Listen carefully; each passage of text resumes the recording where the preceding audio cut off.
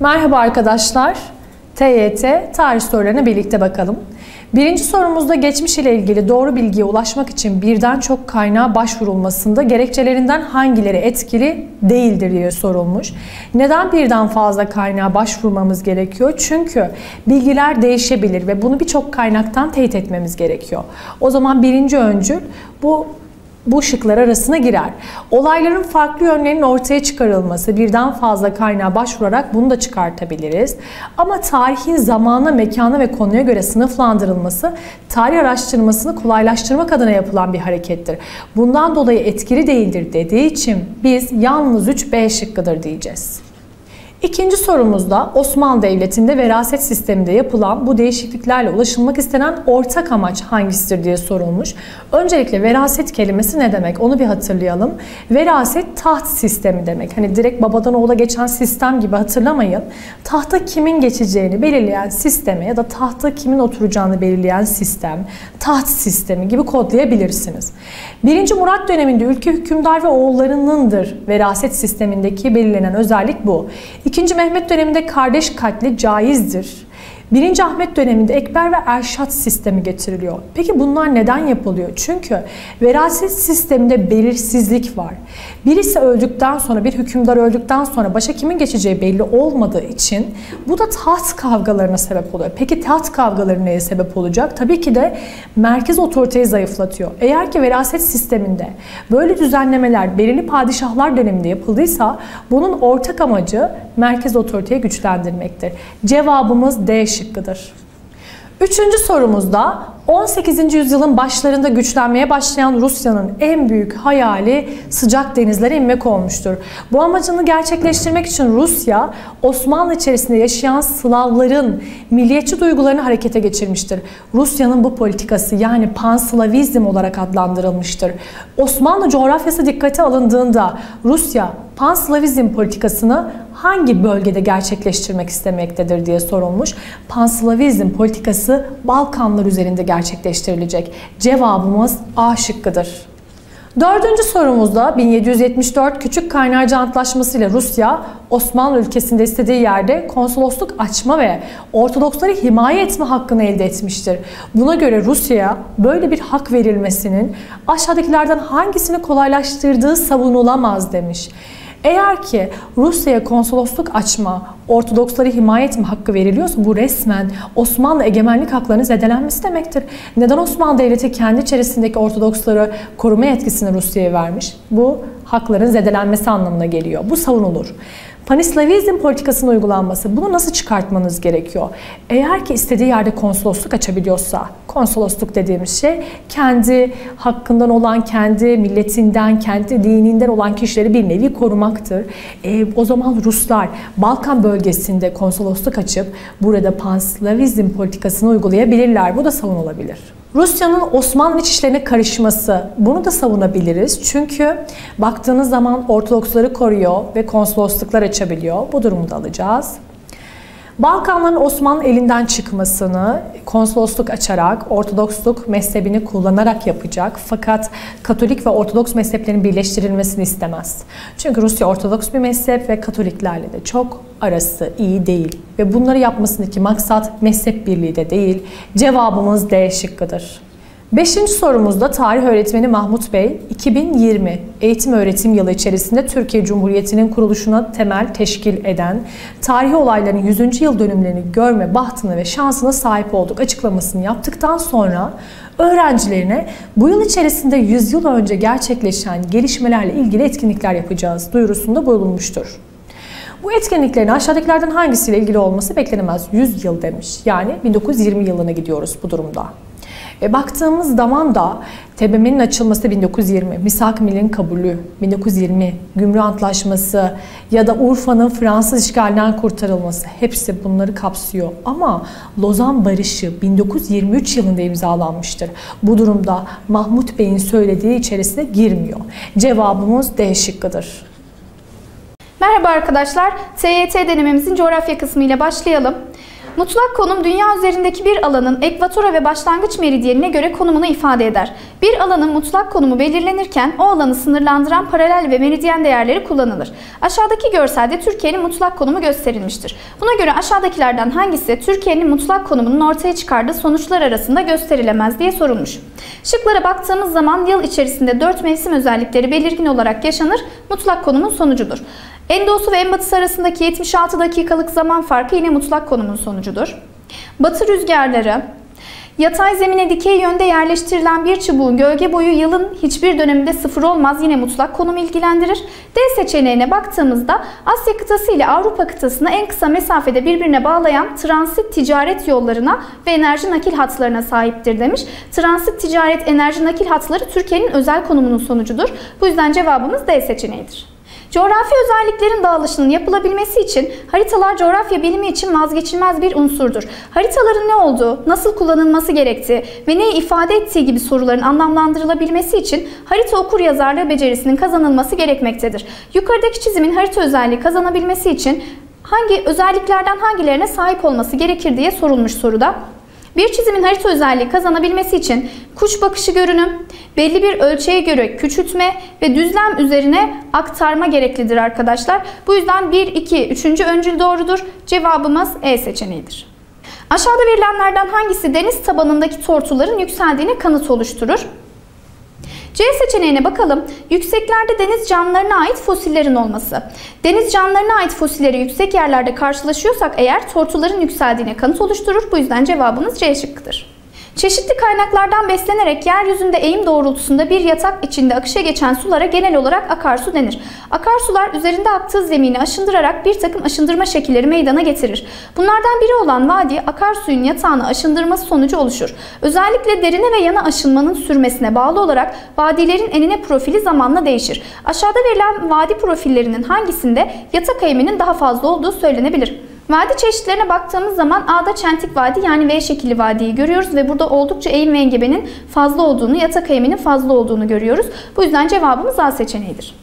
İnsanlar daha çok üretmekte ve daha fazla kazanmak için doğayı sürekli ve artan şekilde tahrip etmektedir. Aşağıda verilenlerden hangisi bu durumu örnek oluşturamaz? E seçeneğine bakalım. Sulak alanların korunması ile burada canlı çeşitliliğin artması. Burada doğaya zarar vermekten ziyade doğaya olumlu yönde bir yapılan e, faktör yer almaktadır. Bu yüzden cevabımız E seçeneğidir. 11. soru. Buna göre aşağıdakilerden hangisi parçada verilen bilim görüşü için söylendiğinde yanlış olur? Bir bilim insanının amacı Aristoteles'in söylediği gibi her şeyden önce insan doğasına ait olan bilme arzusunu doyurmaktır. Bir bilimsel çalışmayı tetikleyen şey çoğu zaman pratik bir probleme çözüm bulma amacı değil, başka bir bilimsel çalışmanın ortaya koyduğu başka bir bilimsel problemdir. Bu nedenle bilimi problemlere kalıcı çözümler sunan, e, ürün ve sonuç odaklı bir çalışma e, olarak düşünmek, bilme arzusuyla araştırma yapan bilim insanlarının gerçekleştirdiği etkinliği yok saymak demektir. Buna göre aşağıdakilerden hangisi parçada verilen bilim görüşü için söylendiğinde yanlış olur şeklinde sorulmuştu. Bilime pragmatik bir bakış açısıyla yaklaştığı, e, her şeyden önce insan doğasına ait bilme arzusunu doyurmak burada faydacılıktan da bahsetmektedir. Bilimsel ürünleri ortaya koyan etkinlik sürecine gereken önemi vermediği, e, bilimi yalnızca pratik ihtiyaçları gidermeye odaklanan bir etkinlik olarak tanımladı. Bilim insanlarının nasıl ürettiğine değil ne ürettiğine odaklandığı e, görüşleri söylenebilir. Fakat bilimsel çalışmaları salt yani yalnızca bilimsel problemleri çözme merakıyla gerçekleştirdiği bu e, söylem yanlış olur. Sorunun doğru cevabı C seçeneğidir. 12. soru. Buna göre aşağıdakilerden hangisi Sokrates'in görüşlerine uygundur? Sokrates bir konuyu tartışırken karşısındaki kişinin görüşlerinin hangi sonuçların çıktığını araştırır ve bu sonuçların yanlış olanlarını eler. Böylelikle onun doğru düşünebilmesini sağlar. Sokrates bu tartışma sürecinde yeni bilgi vermez, yalnızca soru sorar. Bununla da insanların ruhlarında bulunan fakat onların bilincinde olmadıkları doğruları gün ışığına çıkarmayı amaçlar. Sokrates'in görüşlerine uygun olan seçenek sorulmuştur burada.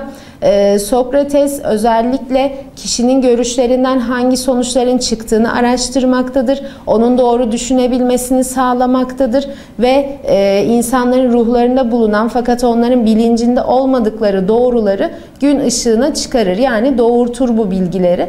Dolayısıyla insan zihninde bilgi doğuştan vardır onun görüşlerine uygundur. Sorunun doğru cevabı A seçeneğidir. 13. soru. Ben bir filozofun ortaya koyduğu görüşlerin benimsenmesi veya reddedilmesinden önce onun görüşlerinin gerekçesinin ve temel hareket noktasının ne olduğunun bilinmesi gerektiğinden yanayım diyen birinin bu sözleri aşağıdaki felsefi kavramlardan en çok hangisiyle ilişkilendirilebilir şeklinde sorulmuştur. Burada gerekçelerden bahsedilmiştir. Anahtar kelimemiz budur. Onun görü yani kişinin görüşlerinin gerekçelerinin altında yatan sebeplerin temel hareket noktalarının ne olduğunun bilinmesi gerekir. Bu temellendirmedir. Bu nedenle sorunun doğru cevabı C seçeneğidir. 14. soru bu parçada sözü edilen durum aşağıdaki özgün görüşlerden hangisine uygundur? Aç kaldığı için ekmek çalan biri ekmek çalmadan doyabilmesinin ve yaşamını idame ettirebilmesinin başka alternatifi olmadığı için hırsızlık yapmış olabilir. Ancak evrensel bir ahlak yasası olarak kabul edilen hırsızlık yapmak kötüdür yargısına uygun davranmadığı için ne kadar zor durumda kalırsa kalsın ahlak yasasını çiğnemiş olur. Oysa hiçbir koşulda ahlak yasasının çiğnenmemesi gerekir. Burada hangi görüşe ait e, söylemlerde bulunulmuştur şeklinde sorulmuştu. Burada e, özellikle evrensel ahlak yasasından bahsedilmiştir ve hiçbir koşulda ahlak yasasının çiğnenmemesi gerekir şeklinde e, cümleler vardır ve hırsızlık yapmak kötüdür yargısına uygun davranmadığı için e, ahlak yasasını çiğnemiş olduğundan bahsedilmiştir. Bu görüş Kant'ın deontolojisine e, ait bir görüştür. Sorunun doğru cevabı C seçeneğidir. 15. soru. Bu parçada bilgi felsefesinin hangi temel sorusu sorgulanmaktadır? Her insan yaşamında yeni durumlara göre yeni keşifler yapar, yeni doğru bilgiler ortaya koyar. Herkes için geçerli hakikatler yoktur. Ancak bireyin işine yarayan problemlerinin çözümüne katkıda bulunan bilgi ve görüşler birey için doğrudur. Ee, hangi temel soru sorgulanmaktadır şeklinde sorulmuştur burada. Ee, burada dikkat etmemiz gereken şey şudur. Ee, herkes için geçerli hakikatler yoktur. Ancak bireyin işine yarayan problemlerin çözümüne katkıda bulunan bulunan bilgi ve görüşler birey için doğrudur şeklinde sorulmuştur. Burada birey için doğru olmasının e, neye dayandığından bahsedilmiştir aslında. Yani doğru bilginin ölçütü nedir e, sorusuna cevap aramaya çalışmışlardır. Bu nedenle sorunun doğru cevabı B seçeneğidir. 21. soru. Buna göre aşağıdakilerden hangisi felsefi soru olarak nitelendirilemez? İnsanoğlu en başta kendisinin sonra toplumun, doğanın, evrenin anlamını, kaynağını merak eder. Bu nedenle kendisine sorular sorar ve bu sorulara cevap vermeye çalışır.